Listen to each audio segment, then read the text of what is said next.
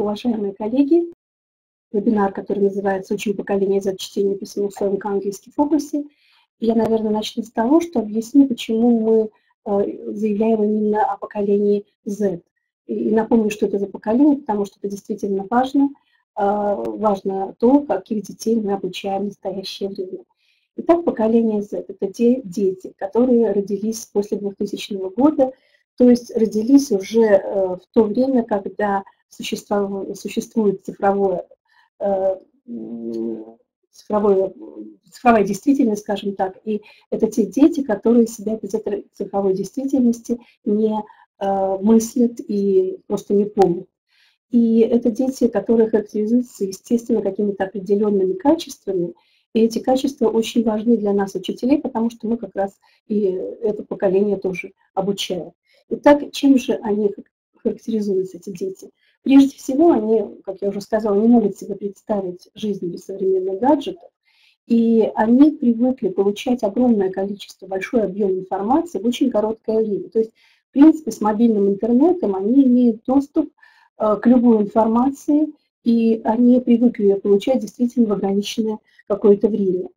А, это дети, которые привыкли думать глобально, э, и это дети, которые не могут уже сконцентрироваться долгое время на какой-то а, одной э, информации, потому что э, они жаждут чего-то нового. И поэтому у них есть проблемы с вниманием, им важно Э, менять э, виды различные задания и работ для того, чтобы интерес этот сохранялся. А эти дети гораздо лучше воспринимают наглядную информацию, то есть для них все необходимо визуализировать, потому что вот эти образы, которые представляет интернет, они именно в таком виде. Этих детей еще называют центениалами, наверное, вы слышали этот термин. И, конечно же, современные ОМК не могут игнорировать эти характерные черты. Я думаю, что вы сами, если уже какое-то время э, преподаете, то можете сравнить детей э, ну, той же начальной школы, допустим, этого года и, и взять несколько лет назад, вы видите, насколько они все-таки отличаются и насколько новые проблемы встают перед учителями для того, чтобы процесс обучения проходил более эффективно. И э, наш э, комплект английский фокус для начальной школы тоже, э, естественно, старается учесть все эти способности и возможности детей данного поколения. И не случайно мы начинаем детей учить читать именно так называемым глобальным методом, то есть целыми словами, потому что вот одна из причин – это как раз особенность этого поколения Z. Ну и переходя к чтению, я хочу сразу сказать, что э, понятно, почему это умение э, является наиболее важным, э, потому что вы знаете, что от того, насколько ребенок успешно читает на родном языке, зависит его успехи в изучении других предметов. То же самое у нас происходит и в английском языке. Если мы не научим ребенка хорошо читать, то вряд ли можно ожидать каких-то достаточно хороших успехов в изучении иностранного языка, английского языка этим ребенком. И э, хочу еще остановиться на двух таких современных терминах, э, прежде чем начать говорить о конкретном обучении чтения э, в нашем ОМК. Э, тоже такие э, часто теперь на слуху бывающие термины, как hard skills и soft skills – Hard skills – это те традиционные э, предметные знания, это та базовая функциональная грамотность, которая всегда была целью нашей школы и, естественно, и остается этой целью.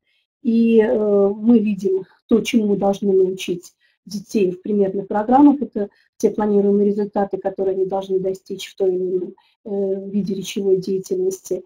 Это и э, в КИМах, э, экзаменах и демоверсии различных мониторингов где указано, какие знания и умения проверяются во всех видах речевой деятельности. И второй вид skills – это soft skills.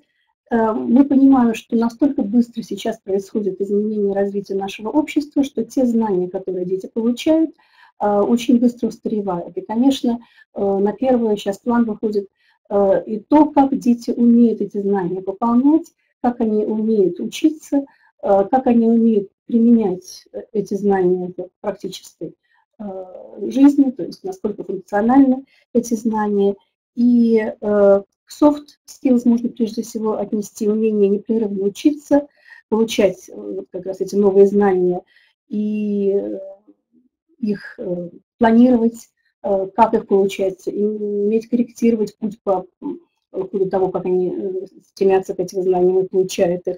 Умение общаться, слушать, слышать других, анализировать, э, сравнивать, соотносить, э, оценивать, то есть мыслить критически и высказывать свое мнение, аргументировать его, работать в различных группах с партнерами в команде и так далее.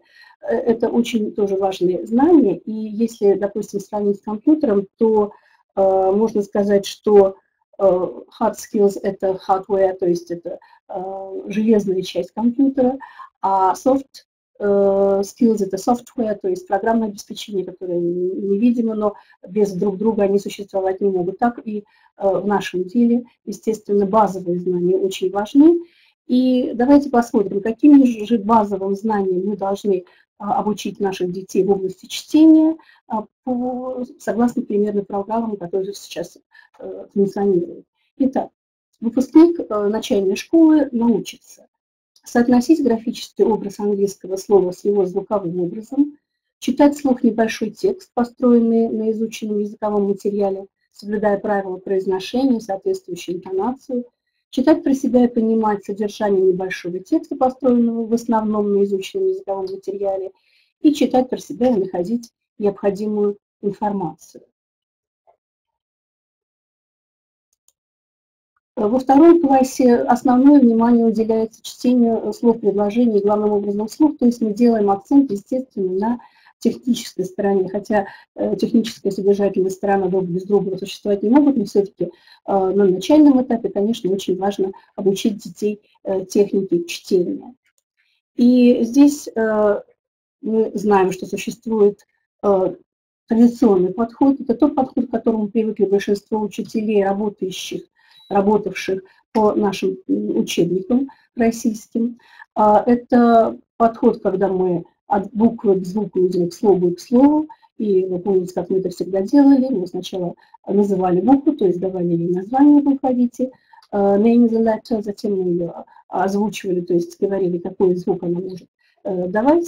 И э, у нас тоже в учебнике э, есть, конечно, такие упражнения, которые обучают детей а, именно этим способом, но а, надо помнить, что этот способ хорошо работает тогда, когда можно опереться на правила.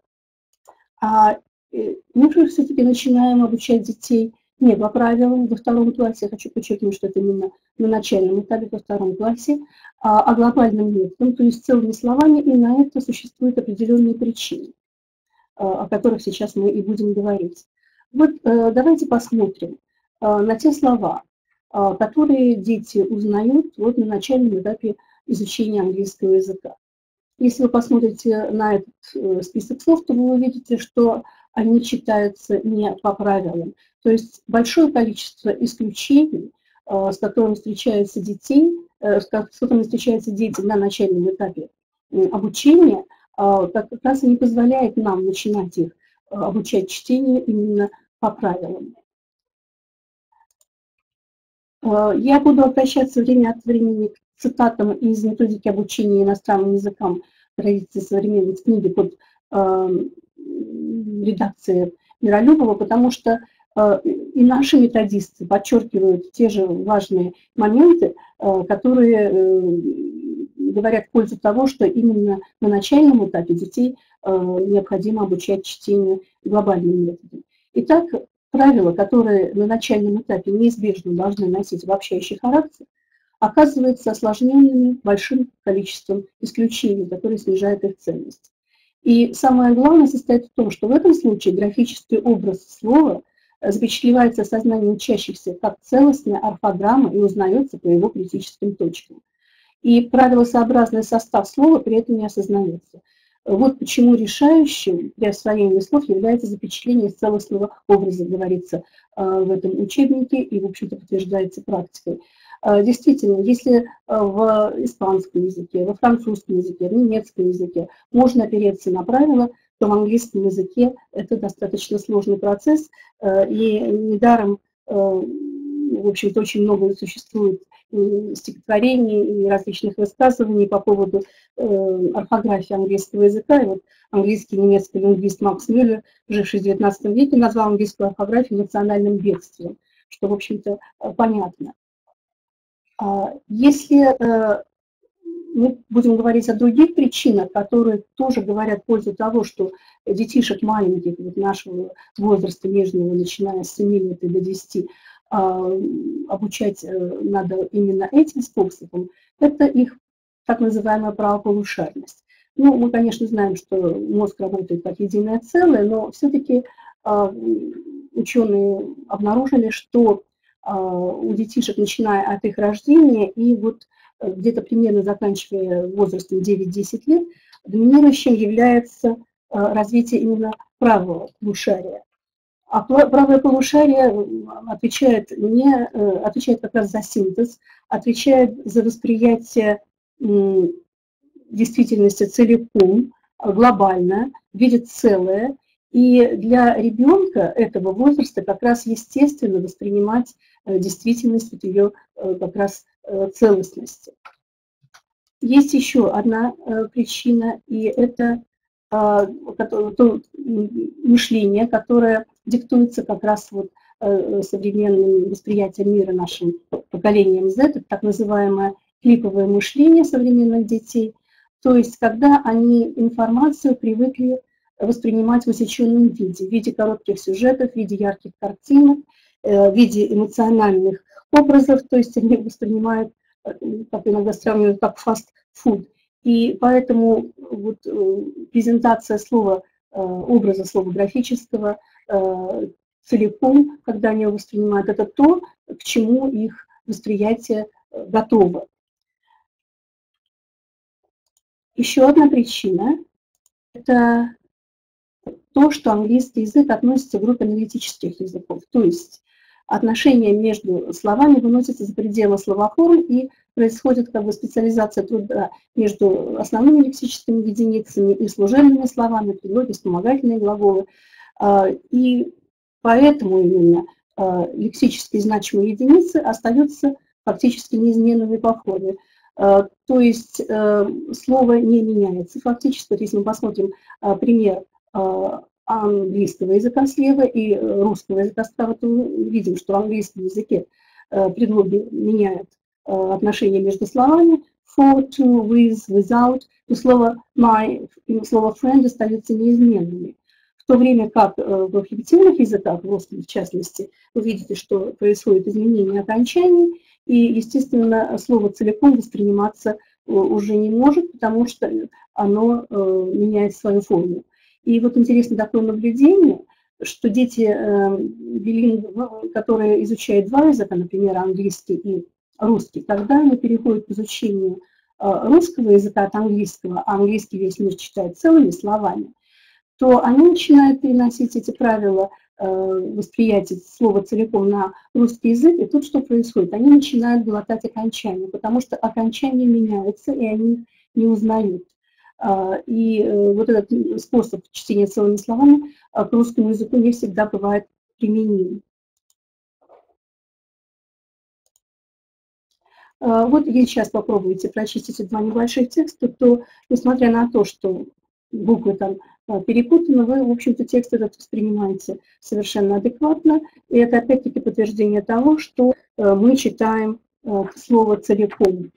По его каким-то определенным значимым моментам мы ориентируемся на начальную букву, на конечную букву, на длину слова, на какие-то еще такие ключевые позиции. Мы воспринимаем слово целиком, и часто бывает, когда подменяют одно слово другим, в контексте мы не, можем этого просто не заметить. Для нас это не важно.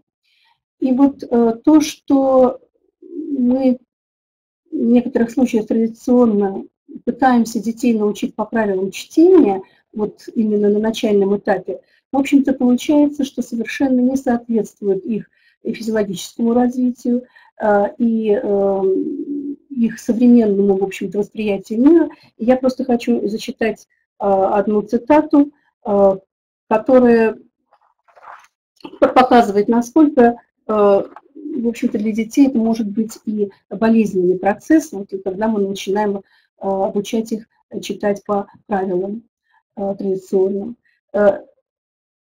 Исследования речевой и графической психомоторики вскрыли, что традиционный вербально-фонетический принцип обучения чтению расчленяет неделимый звукоречевой код на искусственно составленные фонематические элементики. И установлено, что такая методика не только глубоко закрепощает речевую психомоторную свободу, но и формирует устойчивые патологические звукоречевые комплексы и вводит ребенку специфическую психоэмоциональную и речемоторную напряженность. Это слова Владимира Филипповича Лазарного, который руководит специальной э, лабораторией, э, которая, в общем-то, основана на направлении новым науки здоровье-сберегающей педагогики. Э, ну и надо еще, наверное, учитывать то, что когда мы начинали детей раньше обучать, именно по этому традиционному методу, все-таки дети были э, в десятилетнем возрасте, а, а сейчас мы это делаем намного раньше. Э, ну вот еще один текст, который уже на английском языке тоже показывает, что мы читаем слова э, целиком, воспринимаем. И э, я хочу сразу как бы предвидеть возможные вопросы, когда нам задают в таком виде. Вот открываешь учебник ваш, и там сразу все на английском идет. Как же ребенок, который не умеет читать, Э, может воспринимать, вот, допустим, текст той же песенки, которая у нас идет на самом э, первом уроке «Let's go». Но здесь прежде всего хочется заметить, что очень часто, к сожалению, э, те, кто задает эти вопросы, не знакомы с нивелью учителя и не читают те инструкции, которые даны по тому, как именно нужно работать, допустим, с этой песней. Ну, это общая наша, наверное, Э, такая боль и э, наш общий недостаток, мы не любим читать инструкции, э, мы сразу переходим к действию. Так вот, если обратиться к книге для учителя, а я вас приглашаю обращаться к ней как можно чаще, особенно если вы только начинаете работать с ОМК, с любым ОМК, то там написано, что дети должны, в принципе, из этих текстов знать и узнавать только слово hello и слово nanny shine, и еще Э, представлять себя э, с э, местоимением глаголом «am». И я сама преподаю в школе, в начальной школе в том числе, я могу сказать, что совершенно достигаемый результат и за один урок, и, и дети это могут делать, если, естественно, работа на уроке поставлена правильно, поставлена так, как она и задумана. И часто тоже задают вопрос, почему же алфавит фонетически. Ну, в принципе, я уже частично дала ответ на этот вопрос.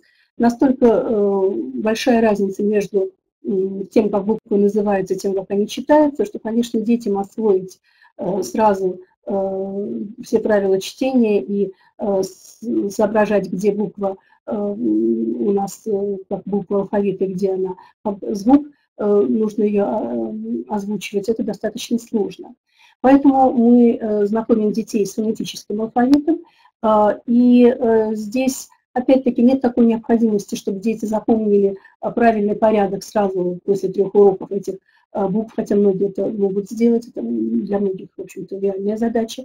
Здесь нам главное, что сделать, э, что объяснить детям. Они должны понять, как соотносится данная буква Э, какой звук она, со звуком, какой звук она дает. Здесь э, звуки даются наиболее часто э, выраженные этой буквой, и опять-таки, если это делать так, как написано в наших книгах для учителей, если следовать той методике и тем приемам, которые там предлагаются, то дети это совершенно нормально осваивают, и вот когда приходит время воспроизвести этот алфавит фонетически, те слова, которые иллюстрируют э, те или иные звуки, у них это все достаточно получается. А что касается алфавита уже буквенного, у нас э, дается песенка, но она просто для знакомства. Здесь мы не ставим своей целью, чтобы дети тут же выучили и алфавит зная, запоминая, как называются буквы. Эта вся работа у нас еще будет проходить в третьем классе, в четвертом классе, когда дети будут целенаправленно и методично знакомиться с правилами чтения, и тогда уже они и выучат этот алфавит в нужном порядке и в общем-то, это тогда цель будет достигнута. В принципе, знать алфавит просто ради того, чтобы знать алфавит, не имеет никакого смысла, и особенно сейчас, наверное, когда у нас и словари-то онлайн, и дети, э, в общем-то, могут любое слово найти, даже не зная, в каком порядке стоят буквы в алфавите, э, ставить это самоцелью, конечно, никакого смысла не имеет. Ну и самый, конечно, плановый вопрос, а как же все-таки научить детей э, читать слова? Опять-таки, это целый алгоритм, и, конечно, учителя, которые подходят к этому э, с какими-то старыми приемами и принципами, э, навряд ли добьются здесь успеха. Здесь тоже надо следовать тем правилам и тем приемам, которые предлагаются. И я сейчас кратенько о них скажу. Итак, как вводить, отрабатывать и закреплять новые слова? Ну, прежде всего, учитель вводит новое слово с помощью картинки. Э, он показывает картинку и произносит Э, то слово, которое она иллюстрирует. Это картинки, которые есть у нас на сайте, я потом расскажу о том, где можно их взять. И э, картинки могут быть и в приложении, если у вас есть для интерактивной доски. Это есть плакаты специальные, и э, вот с помощью как раз э, тех картинок, которые вы выбираете, вы это слово э, семантизируете, то есть называете, что называете это слово и показываете эту картинку. И дальше учи, учащиеся повторяют хором индивидуально, причем важно, чтобы это сначала делалось за учителем, потому что здесь, к сожалению, не все дети воспринимают э, правильно э, звуки. Им очень важно, многим очень важно сначала увидеть э, артикуляцию, они смотрят на учителя и повторяют за ним. Затем учитель проверяет, э, как дети запомнили эти слова в произвольном порядке, называет Э, эти слова, ну, я обычно называю слово, э, или соответствует оно картинке или нет, в зависимости от этого дети отвечают yes или no. А дети более продвинутые, те, которые быстрее э, запоминают разные, знаете, группы у нас бывают, дети, а они сразу могут назвать эти слова, они сразу запоминают многие. Таким образом проверяют, запомнили ли дети это слово. Ну, вот здесь приведены плакаты, с помощью которых можно пользоваться. Я пользуюсь вот такими оценками, это гораздо удобнее, потому что с ними можно э, различные упражнения проделывать по э, закреплению этих слов и по э, тому, как дети, по закреплению этих слов и по работе с тем, как дети эти слова читают. А есть у нас вот карточки, иллюстрирующие, в принципе, всю лексику второго класса в книге для учителя. А, я обычно рассылаю детям, родителям, и родители их вырезают, и мы с ними работаем на уроках. Как э, учитель э, поработал с картинками и с, произно... со звуковым словом образа, э, с, извините, с звуковым образом слова, он обращает внимание на графическое изображение слова, которое напечатано на карточке. А, затем карточки прикрепляются на доске, рядом с соответствующей картинки, и дети уже соотносят графическое изображение слова с понятием. И дальше уже происходит работа по закреплению этих слов. Там очень много всяких упражнений. Ну, самое такое э, частое, которое мы делаем, это детям раздаются чаще э, карточки со словами, одним, другим э, с картинками. И когда учитель называет слово, в произвольном порядке эти слова называются, выходит по доске ученик с соответствующей карточкой с графическим изображением слова и с картинкой, прикрепляет их на доску или просто стоят и читают их. А, ну, это еще и хорошее упражнение для того, чтобы дети подвигались. Это своеобразная и физкульт-минутка, потому что а, одна из характеристик, кстати, поколения детей Z, что они очень активны, гиперактивны, и им, конечно, очень важно двигаться для того, чтобы они лучше э, воспринимали материал. А, вот такие карточки, э, они обязательно должны быть э, вырезаны, они должны быть обязательно в работе, потому что если вы напишете просто это слово на доске, то это совершенно не то, э, чего мы добиваемся, потому что слово должно во время урока постоянно быть в работе, и в работе разные, и это и э, прикрепленные на доске карточки, и это карточки, как я уже сказала, в работе с картинками, и на следующем уроке вот наличие таких карточек позволяет быстро провести повторение, и еще много-много раз повторить эти слова в различных упражнениях, я немножечко ниже об этом скажу. То есть, конечно, э, вот такие карточки необходимы для того чтения, чтения чтения ушло успешно. Ну, вот таким образом они соединяются, карточки с картинкой, а, идет дальнейшая работа.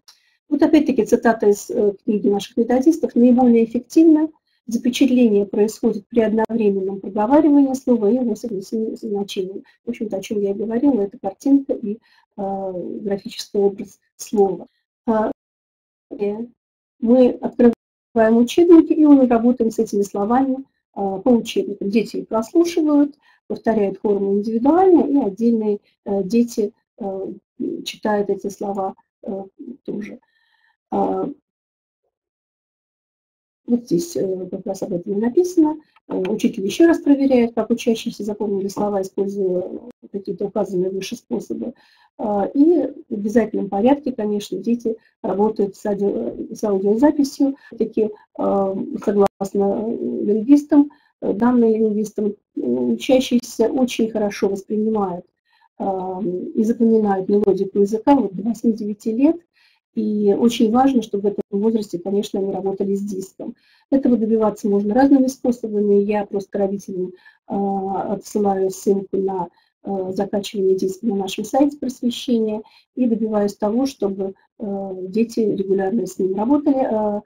Прошу о помощи родителей, вот как раз здесь они хорошо э, делают с детьми, допустим, домашние задания, и следить за тем, как они их делают. Но вот как раз за работу с детством, конечно, должны следить родители и обеспечить детям такую вот работу. А, следующая цитата из методики обучения иностранным языкам. Наибольший эффект достигается при работе над словом в коммуникативном контексте, в котором новое слово имеет ключевое значение. Поэтому в современной методике принято отработка техники чтения на материале предложений, фраз, все слова которых предварительно семантизированы. И действительно, если мы посмотрим на а, то, как происходит дальше работа а, со словами, которые мы семантизировали, отработали уже с детьми, то это происходит в беседе чит-чет. Это как раз такой мини-контекст, в котором дети а, отрабатывают новые слова. Но в данном случае они отвечают на вопрос what's this, используя как раз те предметы мебели, которые были введены предварительно.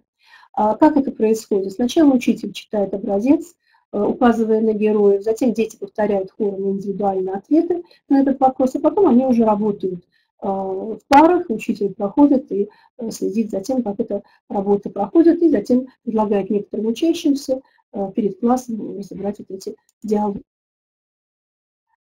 Продуктивное сочетание тренировки в чтении слов, имитации фраз, текстов небольшого объема, записанных на пленку. Это позволяет учащимся одновременно осваивать мелодику языка.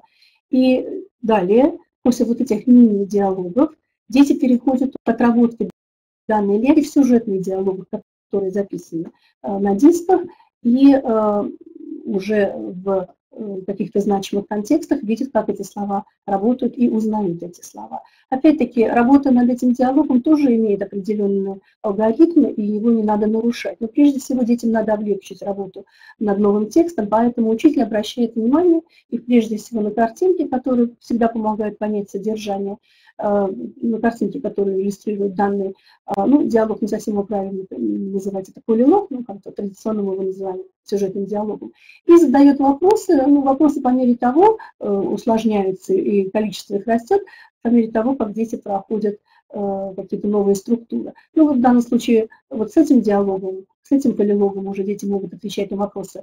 Who's this, what's this, what color is, where are they, и вот таким образом они уже подготовлены к тому, что они сейчас услышат, э, к тому, где происходит действие, кто э, в этом действии действован и какие слова они могут здесь услышать. Далее каждому монологу у нас есть задание, учитель объясняет это задание, и учащиеся прослушивают запись сюжетного диалога в первый раз, следя за картинками. А, ну, если у вас, опять-таки, я это делаю с помощью э, доски интерактивной, мы смотрим мультфильм, и дети там знакомятся с сюжетом диалога. Далее учитель проверяет понимание текста при необходимости, используя родной язык, потому что, э, конечно, трудно э, создать такой интересный сюжетный диалог, э, основываясь только, особенно на начальном этапе, только на те слова, которые дети уже узнали, поэтому иногда там появляются какие-то новые слова. Ну, как правило, они либо из контекста понимаются, либо детям объясняются, в общем-то, особых сложностей не вызывают. А, во время второго прослушивания учащийся в паузах повторяет реплики хором индивидуально – следя за текстом, и учитель обращает внимание на правильность произношения и интонации. Затем уже отдельно учащиеся читают отрывки из диалогов к разным картинкам. Ну, как правило, к одной картинке вызываются другие учащиеся, к каждой картинке другие учащиеся, потому что желающих всегда много, а детей в группе много, и, конечно, э, дети одни и те же из диалога читать э, не смогут. А,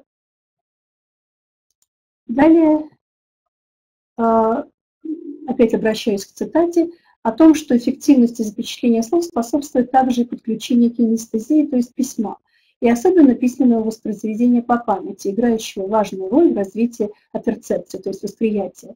Записи слов со слуха, укрепляющие зрительно-слуховые моторные связи. Очень часто учителя задают вопрос, а пишете ли вы диктанты, а надо ли писать диктанты? И вот здесь я сразу скажу свое «да», потому что, э, конечно же, э, ну, во-первых, это помогает детям лучше запомнить э, слова, а во-вторых, если мы оставим написание диктантов на какое-то неопределенное время, то вы сами понимаете, что эти новые слова, как снежный ком, будут копиться и копиться, и детям потом уже будет очень э, сложно э, все это э, охватить. И э, да, за то, чтобы начинать писать диктанты с детьми с самого начала изучения английского языка. Единственное, что это, конечно, должно быть очень щадящим, э, и, конечно же, детей, которые еще не справляются с этими э, видами работы, нельзя наказывать, нельзя им ставить отрицательные оценки. И вот в помощь эм, детям и в помощь учителям, э, которые пишут диктанты и хотят детей хорошо подготовить, я предлагаю вот такие карточки для самопроверки слов. Это идея не совсем моя, она уже здесь несколько переработанная. На каком-то из семинаров я увидела, как эм, английский преподаватель, британский преподаватель предложил вот такую э, похожую систему заучивания слов. Здесь карточка как бы состоит из двух частей. Э, вот э, если вы посмотрите на третий и четвертый столбик, это русский вариант слова и его а, английский эквивалент – Здесь можно работать по-разному. Дети сначала, допустим, закрывают английские слова, проверяют себя, э, насколько они помнят, э, читают эти, произносят эти слова. Затем меняют, допустим, читают английские слова, вспоминают, что они означают. А вот самая интересная работа проходит, вот, допустим, сейчас, если вот эту линию вы по этой линии дети перегибают листочек, то у них остается э, русское слово и э, место для того, чтобы дети это слово вспомнили и написали. Вот как они это делают, я прошу это, заниматься дома, сначала показываю в классе, а потом они этим занимаются дома. А, обычно они это делают карандашом, и если они забыли, как пишется слово, они могут посмотреть на другую сторону гнутого этого листочка и посмотреть на это слово. А, и э, пока они не запомнят, они это слово могут писать достаточно много раз, стирать и писать снова. И вот э, здесь можно проводить это в виде игры, как мы сделали сначала в классе, когда их обучала э, работать с этими карточками. Допустим, каждый раз, когда они подглядывают, как пишется слово, они ставят себе галочку, и задача, конечно, поставить как можно меньше таких галочек, то есть как можно меньше раз смотреть, как пишется это слово. И когда я провожу диктанты, вот очень интересно, очень многие дети приходят с этими листочками, и по ним видно, что они там действительно работают, у них там маркерами какие-то отмечены слова, которые, допустим, может быть, тяжелее давались. Но я хочу сказать, что эта э, работа с карточками дает свой результат. Если э, сначала, конечно, у большинства детей достаточно были плачевные результаты, вы знаете, у наших детей сейчас очень много проблем э, с русским языком, то постепенно, вот, по мере того, как они приучились работать с этими карточками, результаты стали достаточно неплохими, и они, в общем-то, помогают, эти карточки помогают в работе. Опять-таки их можно найти на сайте нашего учебника.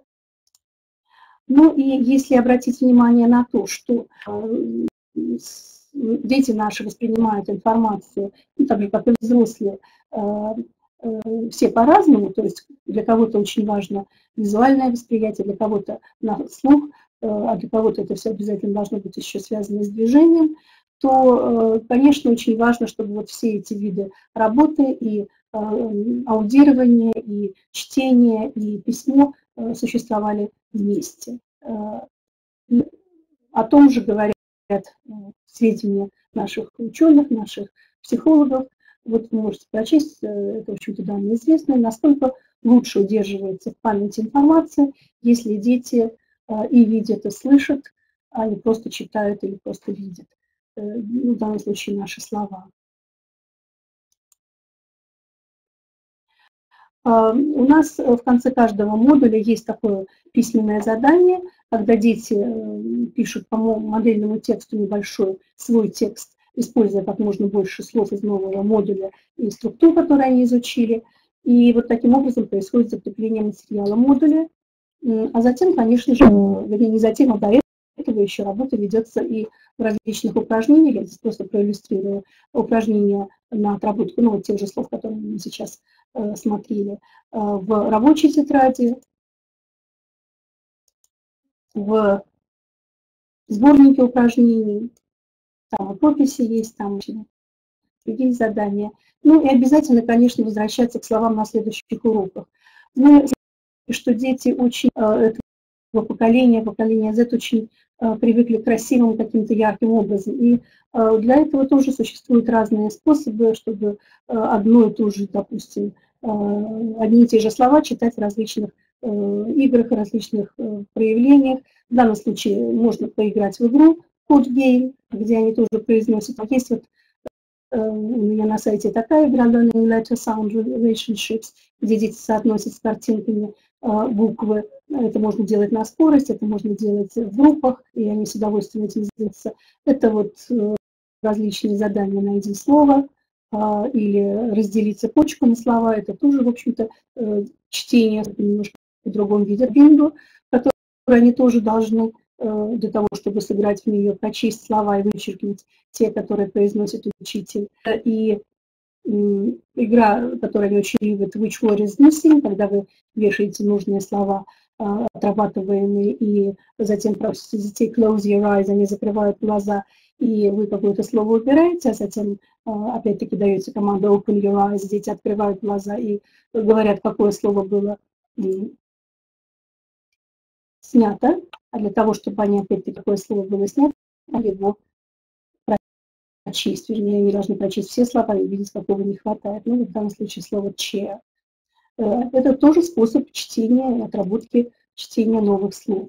Вот такие кубики, которые можно постоянно менять. Э, здесь тоже данные команды.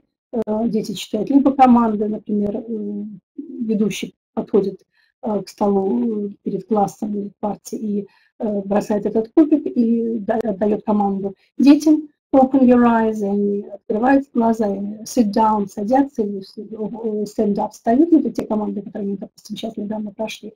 Или там может выпасть какой-то вопрос, который они тоже уже знают под сценой, и тогда на него кто-то из учащихся отвечает. Опять-таки, те дети, которые выходят, э, выступают в роли ведущих, они должны все эти команды или прочесть. Опять-таки, э, поскольку мы уже говорили, что очень важны яркие образы, еще раз повторю, то дети с удовольствием тоже э, работают с презентациями, и эти презентации тоже вы можете найти на сайте просвещения на нашей страничке. Ну, в частности, тоже по тем темам, которые не проходят big or small, когда детям предлагается посмотреть на картинку и прочесть предложение, выбрать правильное слово. Но это тоже чтение, но это чтение с интересными элементами, с яркими картинками, это всегда делают.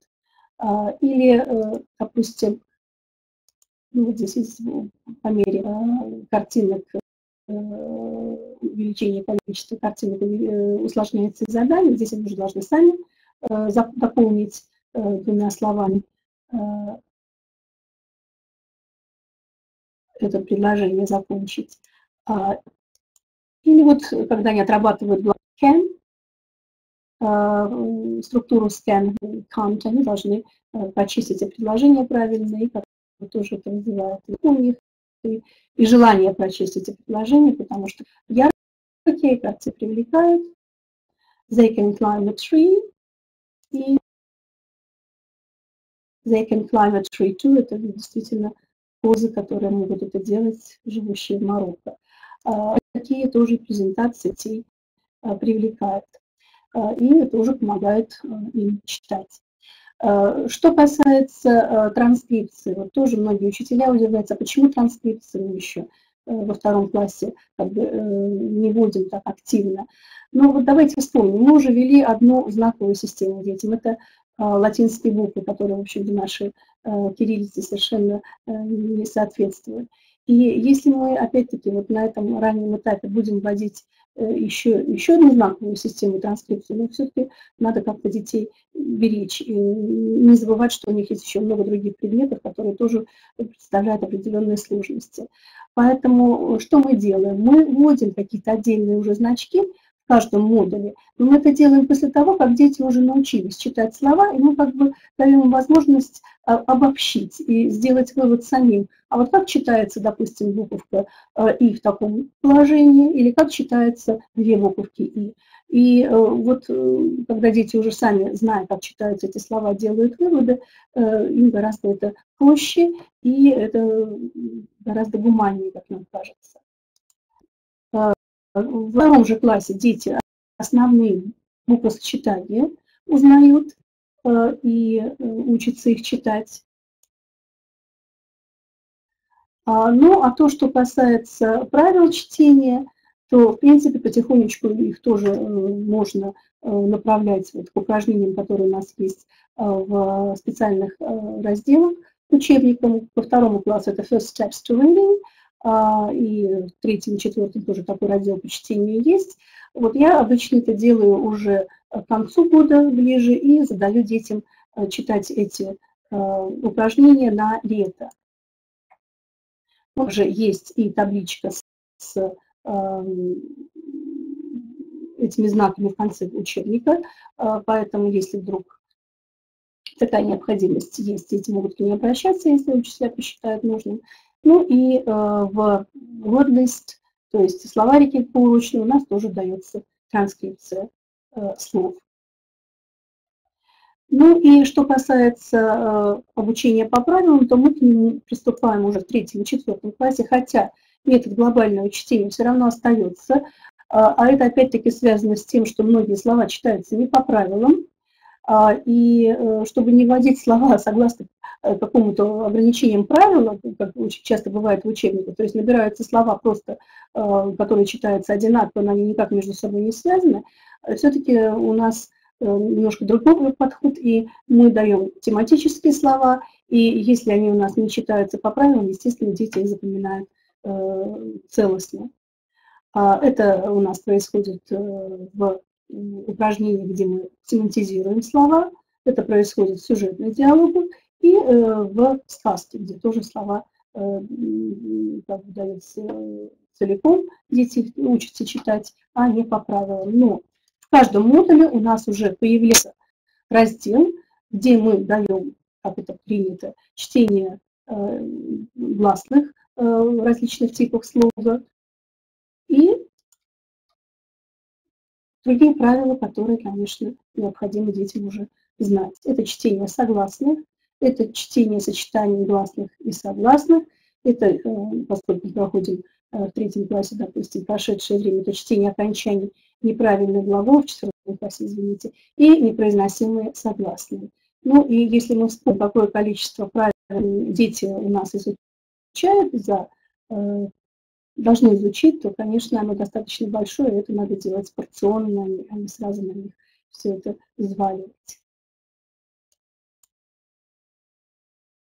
Ну и теперь просто хочу э, проиллюстрировать нашими упражнениями, текстами э, то, как э, мы достигаем планируемых результатов, которые записаны в наших программах. Итак, еще раз вернемся э, к этим результатам. Первое. Соотносить графический образ с английского слова с его звуковым образом. Это у нас происходит при введении слов как отдельно, так и позже уже в контексте, когда дети уже э, достаточно э, много слов знают, они могут воспринимать уже и новые слова в контексте, песенки, например. Читать вслух небольшой текст, построенный на изученном языковом материале, соблюдая правила произношения, соответствующую интонацию. Э, тоже текстов у нас достаточно много. Это и тексты из основного учебника, и из дополнительных разделов. Диалогию, диалогическую речь мы а, развиваем таким образом. Баста. А, читать про себя и понимать содержание небольшого текста, построенного в основном на изученном материале. Тексты тоже у нас есть, начиная от самых простых, как вы видите, из двух э, слов, когда не знает цвет и предмет, и затем уже более сложные слова, более сложные э, тексты э, видите здесь. Э, очень разнообразные тексты, данные сборники упражнений с разнообразными заданиями, как раз теми заданиями, которые очень часто встречаются в диагностических различных работах, и в проверочных работах, так что мы вам рекомендуем туда обратиться. А, читать про себя и находить в тексте нужную информацию, тоже таких достаточно много. Это либо э, утверждение подтвердить сказать, что оно неправильное, либо это true и false утверждение, а, а, либо э, найти окончание предложения в тексте, либо это заполнить табличку, пользуясь информацией из текста. Их упражнений тоже можно найти много, э, и в данном случае они тоже имеют очень разнообразные форматы и разные. И если подытожить, как бы, какие тексты у нас для чтения даются в начальной школе, то это э, тексты, э, если брать цель, какую они преследуют, для удовольствия, э, для воздействия на чувства, эмоции, расширения кругозора, это художественная литература, на сказки, комиксы, произведения фольклора, песни, рифмовки, рассказы из разделов по страноведению. А если брать э, цель информировать э, детей с целью какого-то воздействия установки. Это инструкции, правила, рецепты, расписания, листовки различные. И для образования дальнейшего, для расширения языковых познаний и для профессионального кругозора, то есть для того, чтобы дети пользовались языком для, э, пользовались языком для изучения знаний из различных областей э, жизни. Это у нас тексты в разделе Fun at School и тексты в будущем уже по специальности, это газеты и журналы, которые они смогут читать. И если мы посмотрим, ну, какое э, разнообразие текстов, то вы можете в наших учебниках встретить а, не только ну, привычные, как бы, такие классические описательные тексты, которые тоже есть, вот повествовательные, и тексты научно-популярные, которые рассказывают очень интересно о жизни животных. Эти достаточно материал. Это и чтение электронных писем, сказки, и народные песенки, фольклор.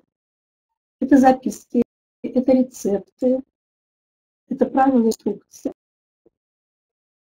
и различные викторины. Это дневник путешествий, расписание, рекламные брошюры и листовки. То есть это те тексты, которыми дети встречаются в повседневной жизни, не только дети, но и взрослые. Конечно, а, быть привычными к этим текстам, уметь извлекать информацию из них, это очень важно, и мы этому и учим. Ну и теперь э, немного времени осталось еще поговорить о том, а какие же планируемые результаты в области письма мы э, должны достичь, вернее, наши дети должны достигнуть, закончив начальную школу.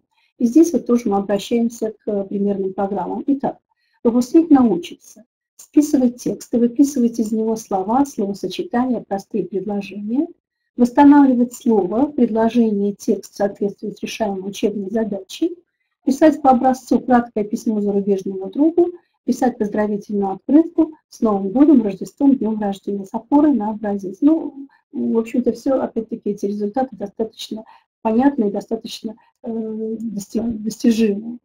Итак, планируемый результат списываем текста, выписывать из него слова, словосочетания, простые предложения. Я просто буду иллюстрировать это э, примерами из наших э, компонентов, чтобы вы видели, что э, есть материал, с помощью которого мы достигаем этих результатов. Итак, вот, ну, допустим, одно из упражнений на переписывание текста. Здесь еще дети должны текст переписывая разбить на параграфы по смыслу.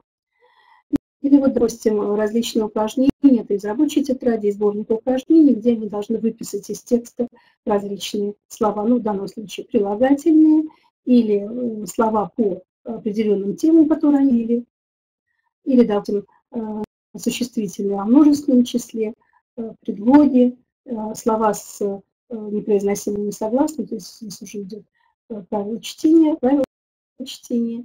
А следующий результат. Восстанавливать слово, предложение, текст в соответствии с решаемой учебной задачей. Пожалуйста, здесь есть предложение, упражнение на восстановление слова, когда самое простое задание, когда дети вписывают просто буквы недостающие. А, или, допустим, сложные упражнения, когда они должны расшифровать э, слово. А, ну, как правило, есть какие-то подсказки, или это, допустим, они понимают, что это Э, продукт с помощью вот формы его, или, допустим, э, здесь написано «расшифруй слова, запиши в таблицу с переводом», есть перевод, они тоже могут сориентироваться по этому.